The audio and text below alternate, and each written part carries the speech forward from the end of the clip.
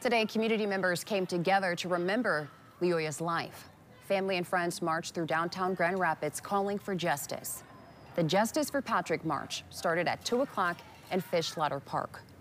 Gatherers hoped this march will let city officials know that they will never stop fighting for Leoya.